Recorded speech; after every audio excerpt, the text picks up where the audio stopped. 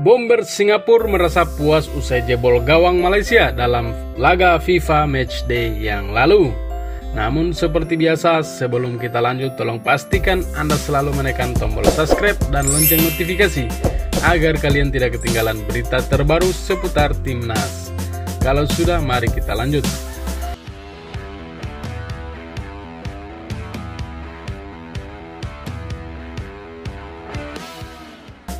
Timnas Singapura mengalahkan Malaysia di FIFA Matchday yang digelar pada Sabtu lalu. Kemenangan Singapura membuat Iksan Fandi semringah.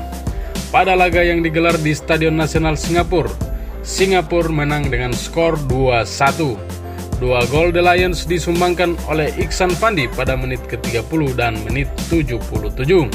Sementara Malaysia gagal meraih kemenangan, skuad Harimau Malaya hanya mampu mencetak satu gol lewat gelandang naturalisasi Liriron Kransniki pada menit ke-58.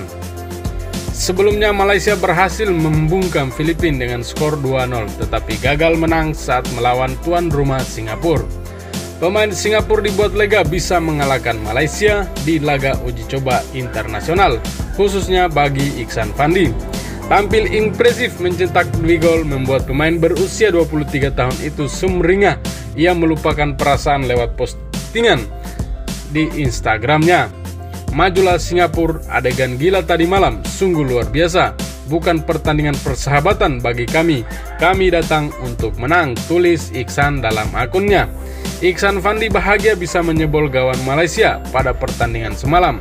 Dia pun mengucapkan terima kasih atas dukungan yang diberikan. Senang mencetak gol di derby pertama saya. Insya Allah lebih banyak lagi untuk ke depannya, ucap Iksan dukungan yang luar biasa. Segera ingin melihat kalian semua lagi. Pungkasnya, setelah mengalahkan Malaysia, timnas Singapura mendapat tambahan 5,38 poin. Ranking FIFA The Lions pun naik dari 161 ke peringkat 159, melampaui timnas Indonesia berdasarkan laman Football Ranking.